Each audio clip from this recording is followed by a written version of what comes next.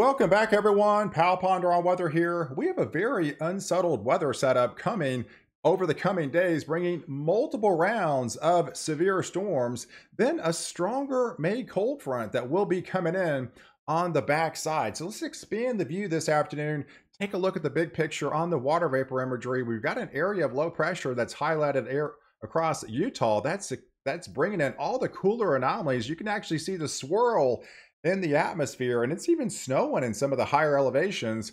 But further south, we still have that much more active subtropical jet stream, and that's the culprit that bringing in all the flooding rains across areas of Texas as of late. And then we also have some sporadic, you know, sporadic showers highlighted across the eastern seaboard. So if we take a look at the uh, of the overall surface map this morning, you can see the low pressure center that is highlighted over Utah and back behind it we've much chillier, cooler anomalies coming in across the Pacific Northwest as well as into California. But out ahead of it, there's the warm sector, folks, and that brought all the heavier rains last night across north and central Texas and further south into southeast Texas this morning, and light showers inundated areas of Louisiana back into Arkansas, as well as into eastern Oklahoma. We also have some instability that's riding up the east coast with some light to moderate rain showers as we get deeper into the afternoon. But you can see the overall temperature change over just the last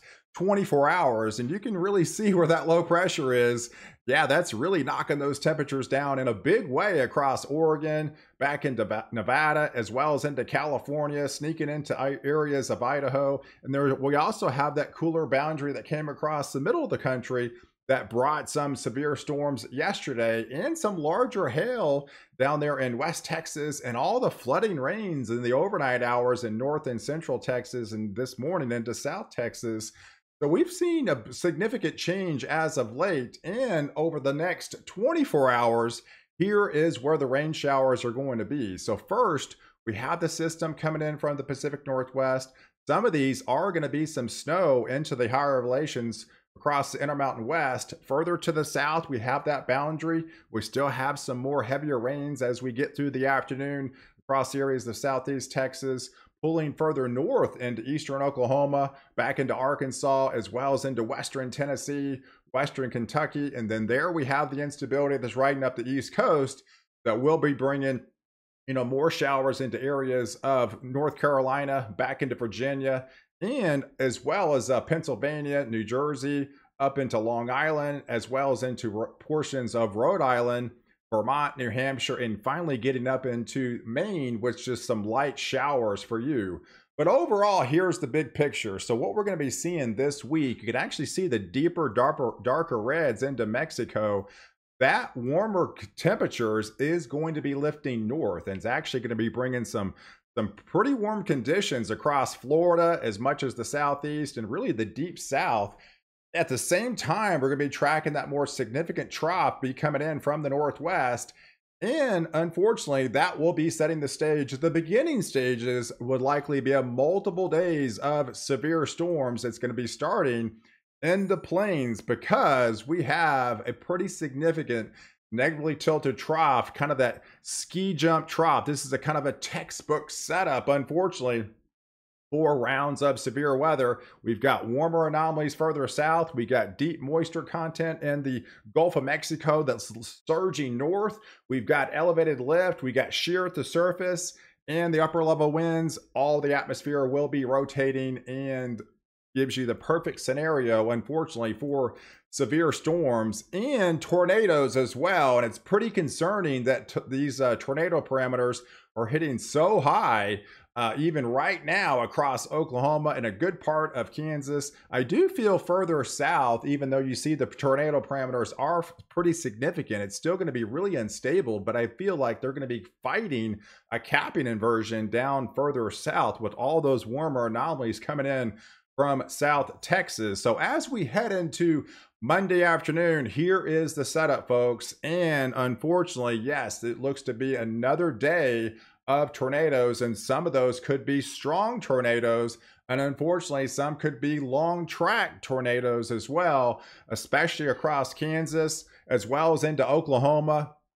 into the late afternoon evening time frame so if you live in the topeka region the wichita region tulsa oklahoma city lawton or ardmore all those areas are going to be highly under the gun to seeing tornad- tornadoes and they look to train from south to north along that boundary so we could see a similar type setup that we saw just last week with that setup across Oklahoma. Unfortunately, because it looks to be fairly similar to that particular setup that you dealt with last week.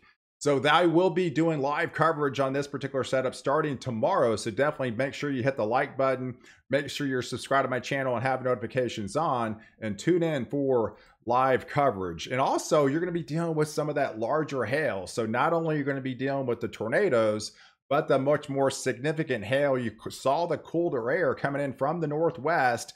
So as these towering cloud tops, you know there's going to be a lot of cold air aloft. So there's going to be a huge swath where they could be seeing some large to, if not almost very large hail. We've seen a ton of that lately, producing some two, three, at times, sometimes softball size hail and some of those isolated stronger thunderstorms. So yes, far far you know, interior portions of the Red River, but especially there in Oklahoma, back into Kansas, you know, feeding into portions of, of Nebraska. And that will be shifting uh, east as we get into the overnight hours. And it's going to be tapping into a lot of moisture content. It's got plenty to work with. You can actually see kind of where the dry line will be setting up across Monday afternoon and it's going to be taking advantage of all that warm Gulf air for May, and that's just the perfect recipe for all three modes of severe storms on top of the damaging winds. But it doesn't end there, folks. Unfortunately, we have another system continue to push across. That trough continues to kind of dip, and uh, out ahead of it, there's going to be the greatest lift and further further east this time into areas of uh, Illinois, back into Indiana, those areas in Kentucky into western Tennessee, Arkansas, those areas are going to be the likely area for Tuesday's development for severe storms. So this is where we have the, you know the convective complex as we head into Tuesday. So you got the Monday setup, then you kind of have an overnight type setup into the into uh, you know Monday night Tuesday, and then as we get deeper into the day on Tuesday, out ahead of that cooler air then that puts areas of Illinois back into Indiana, as well as in Ohio, even West Virginia, Kentucky, Tennessee, back into northern areas of Alabama, and getting further south into Arkansas during the day on Tuesday. So here's the setup on the surface map. We got the area of low pressure that's highlighted across, uh, you know, the Dakotas, bringing in all those tight isobars. So you know those winds are going to be pretty significant. There's the cooler air on the backside, bringing that snow into some of the you know higher elevations across the Intermountain West. And there's the warm sector out ahead of it. So that puts this whole area into play for showers further south, taking advantage of those warmer anomalies. And further north, near the low pressure center, that's where the most instability and the most spin in the atmosphere will be highlighted on Tuesday. So by the time we head into Wednesday, that ridge of high pressure gets a little bit closer from Mexico, and you can see the warmest temperatures so far this season are going to be surging in. We got up to 15 record highs could be broken in many areas further south into Texas. You can see 106 kind of showing up in deep South Texas. So that's pretty extreme, even for them this time of year. And those well above 90 degrees. Some of these areas producing some record high temperatures into Mississippi, into Alabama, and even Florida. Look at that, folks. Widespread 90s into Florida. Some of those middle 90s. So plenty of heat going to be fueling, and that's just the actual temperature. So you know the heat index is going to be pushing the triple digits, if not above and likely maxing out at 108 as far as a high temperature in some areas across Texas. But look at the 90s surging further north into the Carolinas, even into Virginia, even upper 80s for those areas into uh, portions of the Northeast. But there's the cooler anomalies, right? Out into the Pacific Northwest, getting into the Intermountain West through areas of Colorado. And that cooler air will be on the move as we head into Wednesday. So there is your setup on Wednesday. So we still got the, you know, the warmer anomalies coming in from the south. We've got the cooler pocket of air. And yes, that will set the stage for another battle zone across this region. And that's where we're going to have another round of severe storms. And Wednesday could be a pretty significant day. Right now, the Storm Prediction Center does have a slight risk, but I'm definitely getting more concerned, especially for those areas into Illinois, Indiana, Ohio, uh, west, you know, Western Kentucky, Western Tennessee. I do feel this area is going to be elevated much higher as we get closer to this event. So I'm definitely concerned about Wednesday as well at, at ahead with that very warm anomalies coming in from the south colder air coming in from the northwest. And we've got a lot of shear, a lot of instability, higher dew points. Just, and again, another unfortunately perfect recipe for all three modes of severe storms. And there's Thursday, folks. You can see the cool front takes its sweet time with the cooler anomalies draped across areas of the west, this time finally sneaking into the north central states but further south, there is the warm sector across a good part of the southeast, and now lifting back into the northeast as well, really elevating those temperatures even higher than what you're actually seeing on Wednesday. So there's the setup on the surface map for Thursday. The cooler air will finally c- coming in and likely going to have some of these areas producing some strong to severe thunderstorms across Texas, areas of Louisiana, portions of Mississippi, likely into even West Virginia. And even I think the East Coast will have some form of severe storms as we get deeper to the day, you know, on Thursday. But I feel like by the time we head into Friday, you know, Friday night, heading into Saturday morning, a lot of the instability is finally going to be moving out because we finally have that cooler air finally intruding all these areas across the US. So once the cool air comes in on the backside, that typically likes to cleanse the atmosphere out and much nicer weather will be coming in the backside.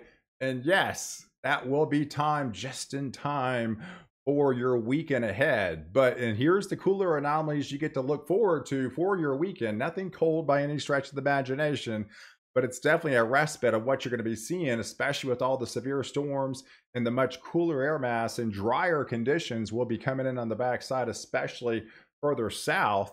And the cooler anomalies as well, anywhere from 5, 10, upwards almost 15 degrees. But look where the warm air comes back, right? So where you're cool now, the warm air will follow, building back into the Pacific Northwest, back for those areas across the West into Wyoming as well as into Montana and back through the Dakotas starting for your weekend. And I think that will likely build even further as we get deeper into your weekend as well, with that ridge really starting to build in. And we've got the cooler, unsettled weather now highlighted across the Northeast. So you are going to be somewhat unsettled for your weekend, bringing some rain showers across that region and much cooler anomalies, but you definitely won't have to be dealing with any severe storms or you know or anything like that. So overall, here's the breakdown as far as like the precipitation over the next 7 days. You can actually see where the dry slot is, right? So much of California, really Nevada, much of Arizona, New Mexico, really West Texas, Western Oklahoma, these areas don't really receive much rain over the next seven days. It all turns in from the Pacific Northwest across Washington and Oregon, across these areas into the Intermountain West. Heavier amounts as you get into Montana and portions of Canada.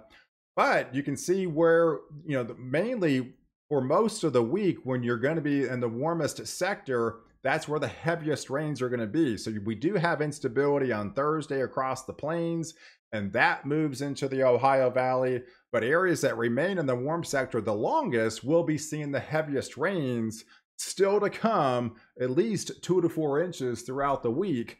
Uh, before that cold front does arrive. So, guys, I will continue to keep you posted on this severe weather. Definitely stay tuned for tomorrow morning's update, and I'll be going live later on tomorrow afternoon into the evening time frame for the plains, which are pretty much significant severe weather outbreak, if not tornado outbreak across that region. So catch me next update why I protect you before and after storm.